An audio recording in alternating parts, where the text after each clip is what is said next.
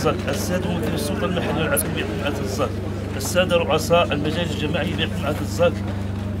كل باسمه وصفته. السيد ممثل مدير الجهوي للصناعه التقليدية والاجتماعي والتضامن باقليم الزاك السيد مدير الاقليمي للصناعة التقليدية والإقتصاد الاجتماعي والتضامن باقليم الزاك إخوتي إخوتي الصانعات وإخواني الصناع التقليدية. السادة ممثل المنابر الاعلاميه أيها الحضور الكريم بعد أن اتوجه بالشكر السيد لرئيس لرئيسه وأعضاء المجلس الجماعي للمحبس وكل المساهمين في إنجاح هذا اللقاء فإنه يطيب لي في هذه البلاد ارحب بكم في هذه البقعة الطاهرة من وطننا الحبيب التي ضحى من اجلها باغاني والتنفيس وشمل امكان الابراز وها هي اليوم نواكب مسار التنمية الاجتماعيه والاقتصاديه التي أطلقها السيد المصطفى بالله صاحب جلاله الملك محمد نصره الله وايده لتكاد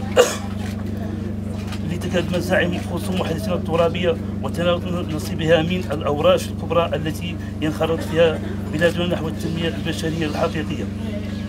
وما تنظم وما تنظيم هذا اللقاء التواصل والتحسين حول التعميم الحماية الاجتماعية إلا دليل على ذلك. سيداتي سادتي لقد انتج انتج جهاد كلمه تجارب رائده في مجال الصناعة التقليدية رافع والها الصانع والصناع الجهة وأعطت نموذج في تثمين المنتجات المحلية وكذا في الإبداع والتعلق بالصناع المحلي وأهمية الصناعة التقليديه التقليدية كرافعه اقتصاد إقليم الجهه اقاليم الجهة وأدت محاربة البطالة وتعزيز الاجمال الاقتصادي لفئات عريضة من المجتمع بالإضافة إلى دور هذا القطاع وعن في هذا الحفاظ على اثار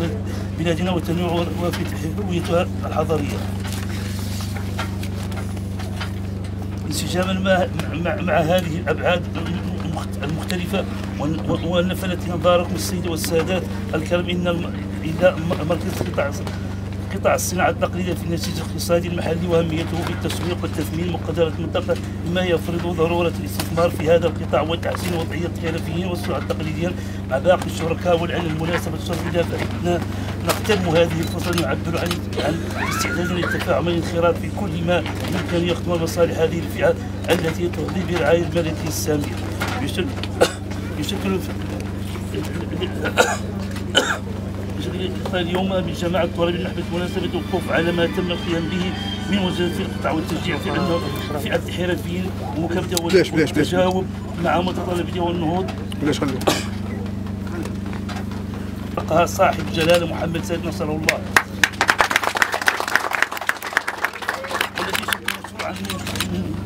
والذي مشروعا مشروعا مجتمعيا رائدا نرسخ مضامن الدولة الاجتماعية وما انخراط الغرفه في خلق التعبئه الشاملة حول هذا الورش